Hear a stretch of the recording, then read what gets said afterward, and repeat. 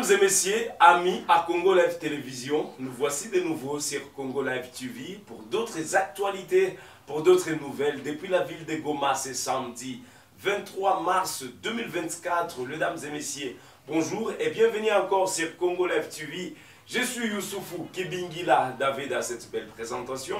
Monsieur Moïse Hangi, analyste indépendant, citoyen congolais, habitat de la ville de Goma, habitat du Kivu, mais également, il faut noter que Moïse Hangi, c'est un acteur de la société civile. Aujourd'hui, nous avons donc l'honneur de lui recevoir encore une fois sur ce plateau de Congo Live TV. Moïse, bonjour et bienvenue sur Congo Live Télévision. Bonjour David, bonjour très chers téléspectateurs de Congo Live Télévision, de partout où vous nous suivez, en Europe, vous êtes en Asie, vous êtes aux États-Unis, vous êtes au Canada, vous êtes partout à travers le continent africain, vous êtes ici au Congo. Bonjour, je voudrais seulement préciser que je suis originaire de Massissi, mais je vis présentement à Goma parce que je fouille mon territoire compte tenu des affres de la guerre perpétrées par les terroristes du M23 bar RDF. Nous sommes donc présentement à Goma, très chers téléspectateurs, en attendant que la paix revienne dans notre territoire de Massissi. Comment allez-vous, cher Moïse, samedi, la ville de Goma aussi pour noter. Comment ça va, vous, la ville de Goma? Qu'est-ce qu'on peut noter aujourd'hui? La ville de Goma va relativement calme. Nous sommes là, nous sommes en train effectivement de suivre la situation de près. Seulement que nous avons constaté que depuis un certain temps, Goma n'est pas ravitaillé en, denrées alimentaires, en produits de première nécessité, tel que c'était le cas il y a quelques jours. Présentement, on reçoit une très petite quantité de ces denrées compte tenu du fait que les zones qui nous les produisent habituellement sont sous le contrôle des terroristes M23 bar RDF. Mais quand même, nous, sommes toujours là. Nous voudrions aussi préciser ici que Goma est, je dirais, asphyxié par ces terroristes du M23 qui sont dans les trois territoires qui environnent euh, effectivement la ville touristique de la République démocratique du Congo, respectivement les Massissi, Rutshuru et Nyiragongo.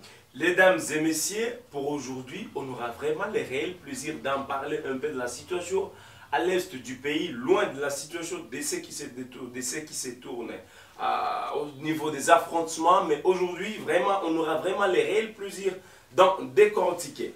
Monsieur Moïse Hangi, vous aviez suivi ce qu'a dit le patron de la défense congolaise.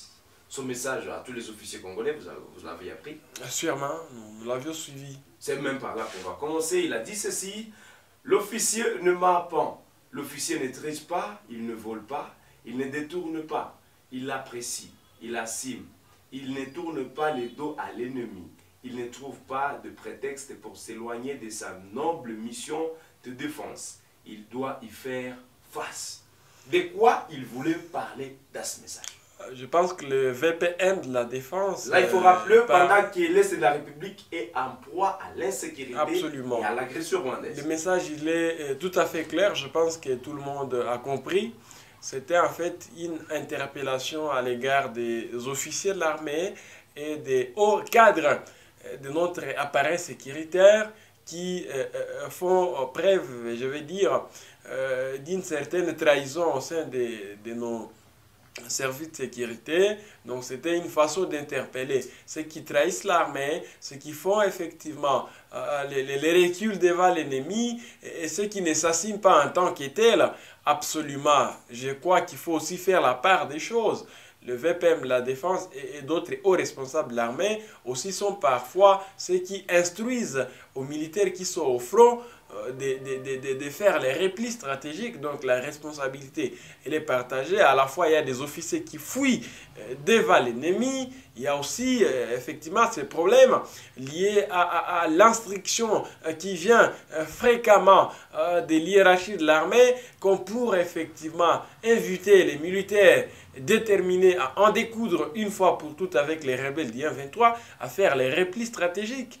Et ici, l'occasion pour moi donc d'inviter le VPM la défense à ne pas aussi continuer à, à, appeler les militaires à faire les replis stratégiques. Le chef d'état-major, mêmement, et même les gouverneurs militaires, je vous dis, c'est quelque chose qui nous fait mal au cœur quand il y a des militaires déterminés à mettre fin effectivement à la blague, euh, à la bavure de rebelles du 23 et que parfois ces militaires se plaignent d'avoir réussi l'ordre de Kinshasa comme pour respecter les cessez-le-feu. J'espère que nous devons faire en sorte que cela ne se répète plus. Entre-temps, je m'inscris en faux contre ces officiers qui tentent de, fuir devant l'ennemi ce traître qui essaie un peu effectivement de nous rendre la tâche difficile.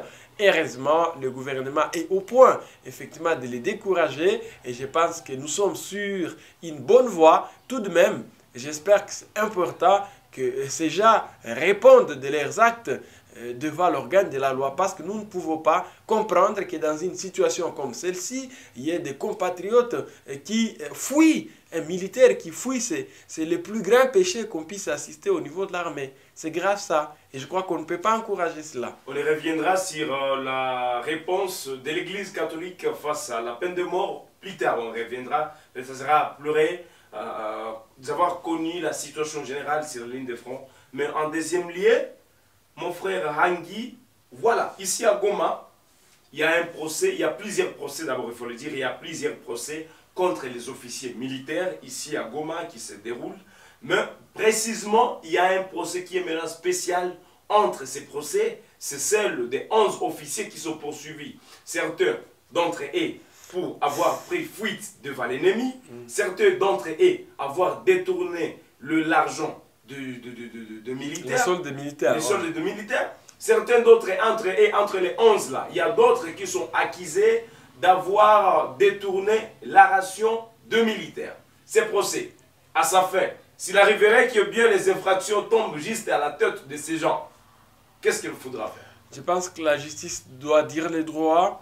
Les juges ne doivent que se contenter de respecter effectivement les exigences de la loi effectivement, j'y étais hier. Hier, c'était hier. Euh, euh, l'audience a eu euh, lié hier. Et moi, personnellement, j'ai suivi religieusement à ces procès. Je voulais donc dire que les juges, la justice congolaise, la justice militaire, parce que nous, nous, nous parlons spécifiquement de la Cour militaire qui gère ces dossiers. J'espère que c'est important de dire les droits sans complaisance et que les coupables, effectivement, soient arrêtés et les innocents soient acquittés. J'espère qu'il y a quand même au sein de ces officiers certains qui euh, euh, euh, vont sortir innocents, mais je pense qu'il y a aussi des traîtres. À les entendre parler, vous sentez que c'était quelque chose de, de, très, de très grave en fait. Et moi je crois que surtout pour ceux qui ont fui pour, au devant de l'ennemi et ces autres qui ont effectivement détourner les soldes euh, et la ration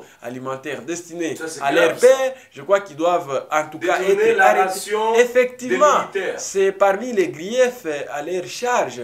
Et j'espère que l'organe de la loi va faire en sorte que ces, gens, que ces gens ne soient pas relâchés. On ne peut pas continuer à, laisser les gens faire du n'importe quoi au sein de nos services de sécurité parce qu'ils sont en train de jouer avec les vies déjà. Quand vous êtes militaire et que vous détournez les soldes de vos pères, indirectement, vous êtes un, inhumain. Vous, vous, vous, voulez euh, que nous puissions en arriver où finalement? Donc moi, je crois que euh, les procès euh, se déroulent très bien. Je voudrais que la justice dise les droits sans complaisance et que l'on fasse en sorte que les responsables de ces actes répondent de, ce dernier qu'ils soient arrêtés. Je préfère même qu'on ne les arrête pas ici à Goma, au niveau de la prison centrale de Mouzenzé, mais qu'ils partent même à Kinshasa. Pourquoi en dolo? Pour qu'ils ne puissent en tout cas pas euh, euh, euh, ressortir de la prison ou faire effectivement des, magouilles à l'adolescence de, de, de, la prison dans quelques mois. Je pense tout de même que c'est important que euh, les responsables euh, qui étaient en train de commander cette guerre euh, soient aussi mis dans le même panier parce que d'aucuns ne l'ignorent. L'armée, c'est un service commandé et que quand Moïse fuit, ça veut dire qu'il y a aussi les responsables de Moïse qui doivent être poursuivis. Il y a parfois des militaires, je les ai entendus parler hier lors du procès, comme quoi c'était juste l'instruction de l'hierarchie. Donc ils ont fui parce que leurs chefs les ont demandé de, de, de reculer. Et moi, je crois qu'on ne doit pas faire euh, le deux poids, deux mesures. On doit faire en sorte que les responsables euh, qui étaient à la base, effectivement, de cette situation euh, soient aussi là, peut-être qu'ils vont se justifier à Kinshasa, et, que donc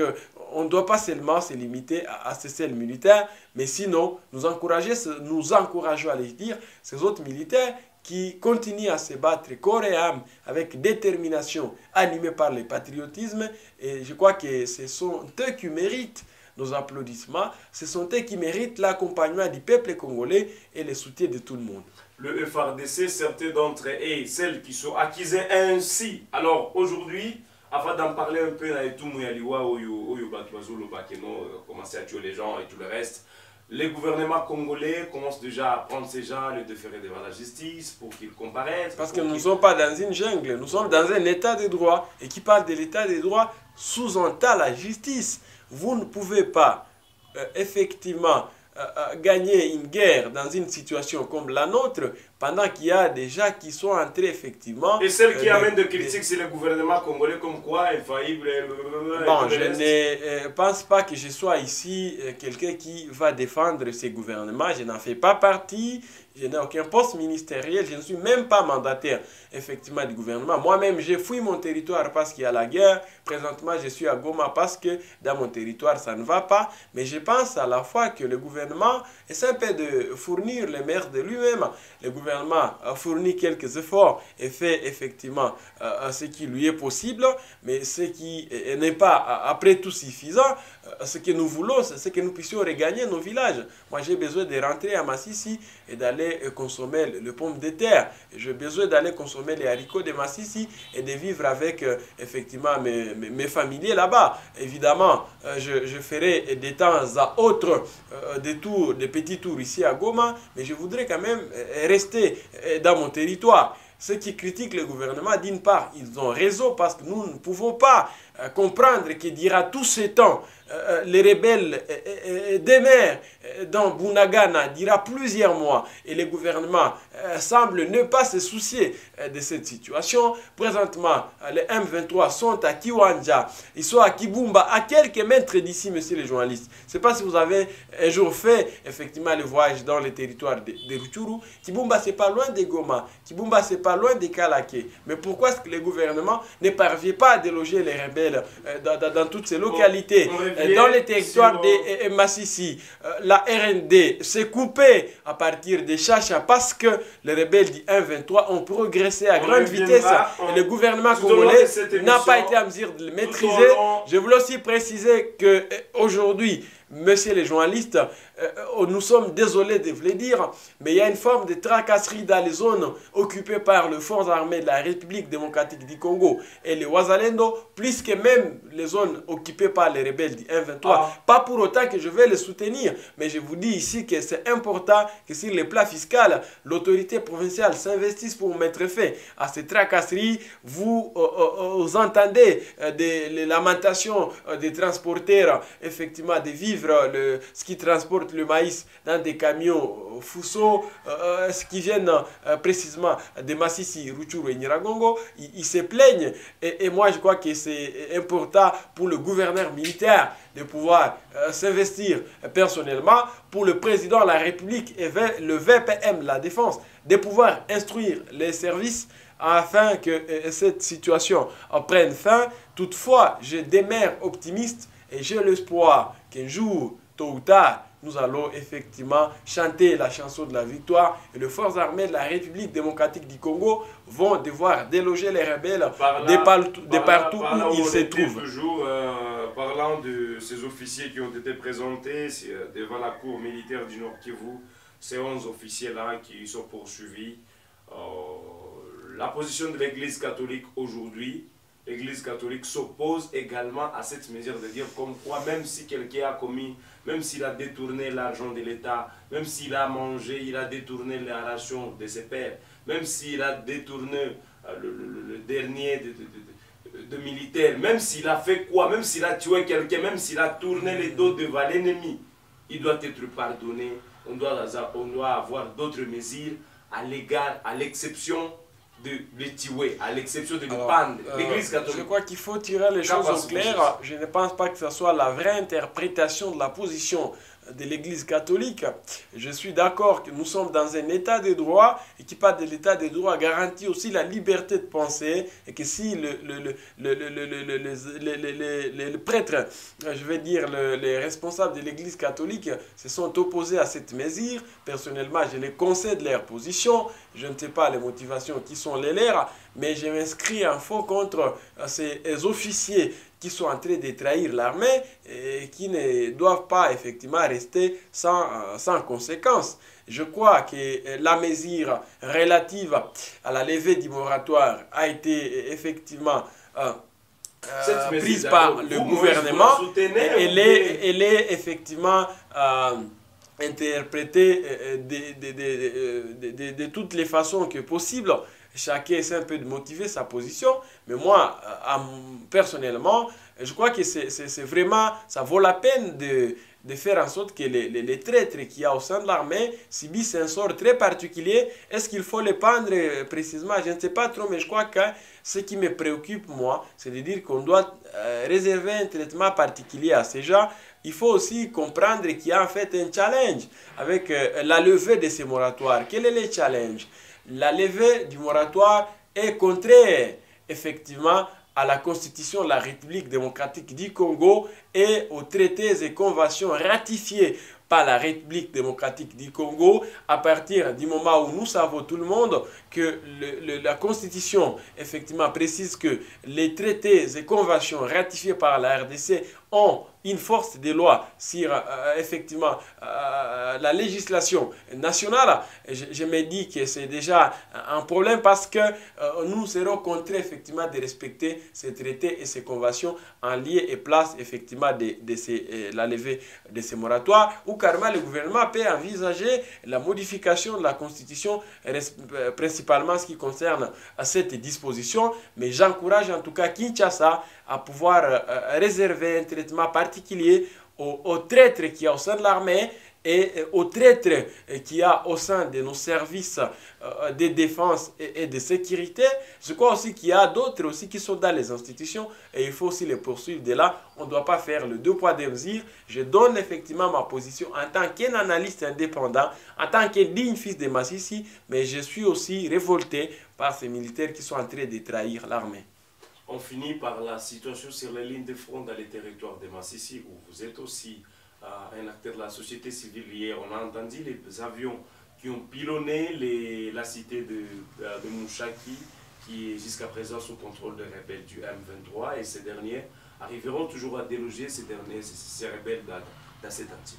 Alors moi, je, crois que cette guerre, parfois, est, est, est, est un peu d'être très compliquée. Il arrive des moments où, personnellement, je, je me dis, tiens, il y a quelque chose qui nous échappe, quoi je ne comprends pas comment est-ce que les rebelles peuvent demeurer dans, Moucha, dans Chacha durant tout ce temps et que les FRDC et que Kinshasa ne parviennent pas à, faire en sorte qu'on les déloge de là. Lequel Kwazalendo qui tente de les provoquer, bon, parfois aussi ils sont butés à une riposte, laquelle riposte les, les oblige de céder. Moi je crois que c'est important que les autorités essaient un peu de prendre cette question au sérieux. Ce sont des vues déjà qui sont en train d'être fauchées. Ce sont effectivement des compatriotes qui sont en train de fuir leur village. Peut-être parce que les gens ne, ne, ne, vivent pas ici à Goma. Ils ne vivent pas ici à Goma. Mais quand vous arrivez dans les cas de déplacés, à Lushagala, à Boulengo, à Don Bosco, vous comprenez à quel degré les gens souffrent. Vous comprenez en fait les conséquences gravissimes de cette guerre. Il faut, très chers téléspectateurs, il faut être ici, il faut être dans les massifs ou dans les retours pour comprendre comment est-ce que les gens souffrent. Et moi, je crois que le gouvernement devrait tout faire. Le gouvernement devrait mouiller le maillot afin que la restauration euh, de la paix soit quelque chose de réel. Et, le président Tshisekedi, il a tout le moyen de l'État pour ça. Le ministre de la Défense et d'autres, effectivement, euh, personnalités politiques et ils sont là pour ça. Et nous, en tant que population, ce que nous voulons, c'est la paix. Nous voulons que nous puissions regagner nos villages. Nous voulons que nous puissions aller retravailler nos chats, élever nos batailles. Et le reste, nous avons perdu beaucoup de compatriotes. Nous ne voulons pas en perdre d'autres. Je pense aussi qu'il y a un aspect qui euh, est aussi très euh, perplexe dans tout ça. C'est en fait le front euh, politique et, et, diplomatique engagé déjà par le gouvernement. Je puis vous dire qu'il y a des incidents effectivement, des pourparlers sur les plats politiques qui euh, euh, effectivement euh, essaie un peu de se répercuter sur cette guerre et c'est par ça que par moment vous assistez, il y a des, des accalmies, parfois il y a par exemple une forme de, je vais dire, de cesser les faits. Bon, je crois que c'est beaucoup plus le, les hommes politiques, les autorités au niveau de Kinshasa qui devraient quand même comprendre que nous là, nous sommes en train de souffrir et que par exemple, nous avions été depuis longtemps très clairs. Si le président Tchékédi pense que pour résoudre cette guerre, il faut dialoguer avec les Rwandais. C'est très mal parti. Parce que Kagame, c'est un, un, gentleman, c'est un rusé, c'est un malin. Il a roulé le prédécesseur de, euh, de Tshisekedi, Joseph Kabila. Kagame a roulé même euh, effectivement euh, Mzé bien qu'il a semblé, euh, vous vous souvenez dans l'histoire, appuyer euh, Mouzé, mais à la longue, il y a eu des incompréhensions à la base effectivement de tout ce que nous sommes en train d'observer aujourd'hui. Et que donc, si le président Tshisekedi continue à vouloir céder aux caprices de Kagame, je crois que nous ne trouverons pas la, la, solution à ces problèmes. La solution, elle est d'ordre militaire. Moi, j'insiste là-dessus pour que nous puissions mettre fin à cette guerre. Nous pouvons compter sur nos militaires, Heureusement, euh, l'embargo sur la RDC a déjà été levé. Ça veut dire que nous sommes en mesure de nous procurer de n'importe quelle sorte d'armes que nous voulons. Nous avons des jeunes déterminés et courageux, le Wazalendo, qui sont dans les Massissi, avec l'appui des ancêtres, avec une force spirituelle euh, qui les accompagne. Et, que, donc, si le gouvernement accompagne ces jeunes, le vrai Wazalendo, parce qu'il y en a aussi de faux Wazalendo, euh, autant dans les Massissi, dans les Rutshuru et dans les Niragongo, j'espère j'espère que nous pouvons recouvrir cette paix. Mais en attendant, très chers téléspectateurs, ça vous concerne. Je vous invite à pouvoir faire un geste pour les déplacés de guerre. On peut tout parler ici, mais entre-temps, il y en a qui sont en train de souffrir. Entre-temps, il y a effectivement cet enfant qui a passé toute une journée, n'a pas mangé. Et je pense que vous, qui êtes en train de nous suivre, Congolais de père et de mère, vous pouvez nourrir un enfant pour un ou deux jours et il, il, va se sentir content. Et ça sera une façon pour vous de recouvrir la bénédiction. Je vous invite donc à faire un geste. Un habit, un 5 dollars, un 10 dollars, un 1000 dollars que vous avez. Merci de faire ça et nous allons en tout cas faire arriver ça à qui des droits. On finit par votre numéro. Mon Plus 243 99 25 42 946. Je réitère mon numéro plus 243 99 25 42 946. Vous retrouverez ce même numéro sur WhatsApp et sur RTL Money. Nous restons aussi à votre disposition pour des commentaires, pour des orientations, pour des conseils par rapport à nos analyses. Et nous espérons que vous allez nous aider et nous appuyer pour que nous puissions améliorer la qualité du travail. Merci à Congo Live Télévision euh, pour ces, euh, ces privilèges. Merci à vous, David Kivingila. Merci à tout le monde. À la prochaine. Merci, mesdames et messieurs. C'est la fin de cette émission. J'étais Youssoufou Kibingila David. Je vous remercie d'avoir été nombreux à nous suivre et passez une excellente journée. Bon week-end à vous, à ce lundi pour d'autres actualités. Merci mon frère Angi et bonne santé à vous. Merci pareillement.